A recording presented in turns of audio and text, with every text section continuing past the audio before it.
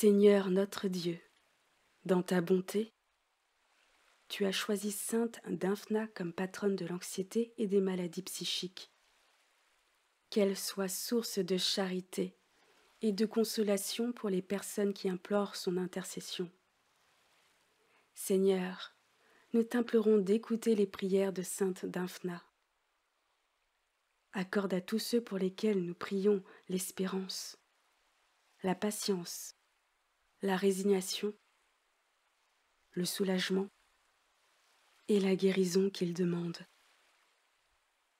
Par Jésus-Christ, notre Seigneur. Amen.